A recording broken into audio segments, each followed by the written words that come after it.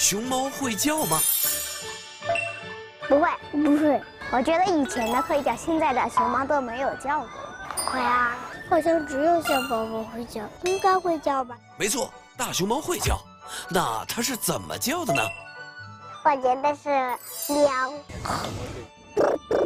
嗯啊，这样叫喵。哦，应该是。嗯。哈哈哈哈！小朋友们真是脑洞大开。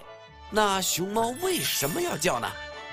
可能是传达某种信息，吓唬那些要伤害它的人吧。呃，遇到危险，因为它饿了吧？呃，在说话。可能有的时候就是驱驱赶就侵入自己领地的一些动物，它来和另一只熊猫打架。小朋友们的答案似乎都有一定的道理，但是哪一种说法才更加准确呢？千万别走开！精彩的熊猫幽默录像之后揭晓答案。窗外鞭炮阵阵，屋内热热闹闹。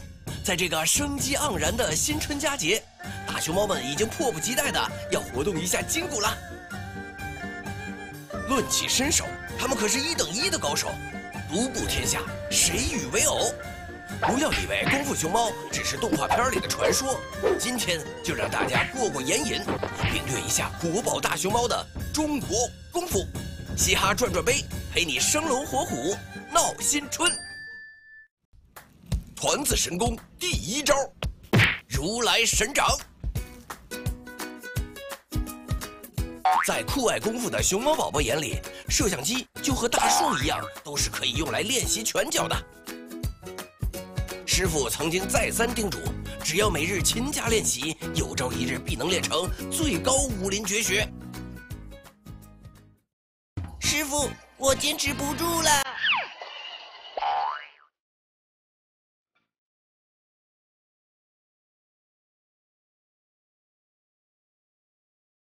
天哪，当个武林高手怎么就这么难呢？嘿，嘿，吼，哈，嘿，哈，嘿，哈！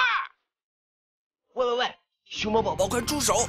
小树可是无辜的，如果让师傅知道了，那本武功秘籍可就再也看不到喽。团子神功第二招，锁腿神功。对于功夫较弱的熊猫宝宝来说，如果遇到强大的对手，可以趁其不备，立刻锁住对方的腿，让其寸步难行。不过，熊猫宝宝一定想不到，这一招的不足之处就在于它们天生长着小短腿儿，想要追上去可不容易。腿短归腿短，架不住咱频率快呀，努努力的话，还是可以追上的。嘿嘿嘿嘿，心愿达成！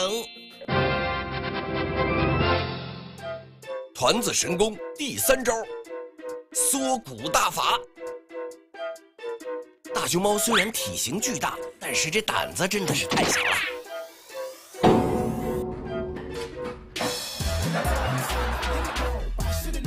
作为一名大侠，来去自如是最基本的技能。这一招对于胆小的大熊猫来说实在是太受用了。当出现意外状况时，钻栏杆、进下水道，宝宝再也不会害怕了。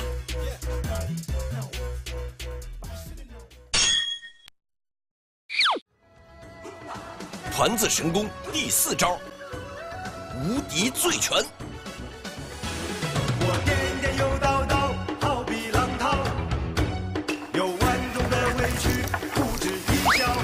此招看上去毫无章法，实际上无招胜有招，这就是熊猫功夫的绝妙之处。以醉态迷惑对手之后，让对手放松警惕，再攻其不备，出奇制胜。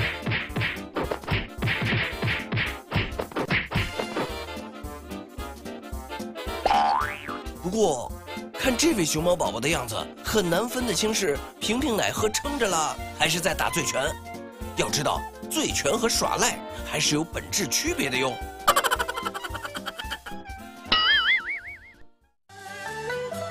怎么样，大熊猫厉害吧？国宝就是国宝，明明可以靠颜值，偏偏要靠实力。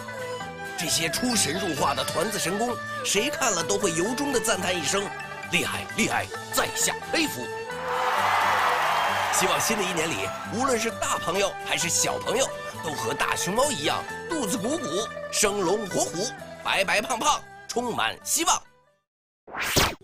叮叮叮，熊猫课堂开讲了。熊猫究竟是怎么叫的？它为什么要叫呢？事实是这样的，大熊猫在不同的境况、不同的情绪和不同的心理状态下，都会发出不一样的叫声。它们会发出类似于羊叫、牛叫、鸟叫、狗叫，甚至于人类的尖叫等等很多的声音。例如，大熊猫撒娇时会发出咩咩的羊叫声。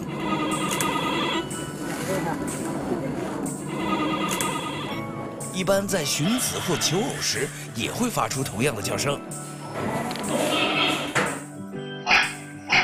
当大熊猫受到惊吓或生气时，会发出汪汪的狗叫声来恐吓对方。另外，成年大熊猫和大熊猫幼崽的语言也是有差别的。当熊猫幼崽感到舒适的时候，会发出咕咕的叫声。熊猫幼崽尖叫的时候，通常是因为感到不适，要求熊猫妈妈调整位置。当它们长时间连续尖叫时，一定是极端的不舒服，或者是饿极了。因此，要想成为一名合格的饲养员，还必须能够听得懂这些特殊的熊猫语哟。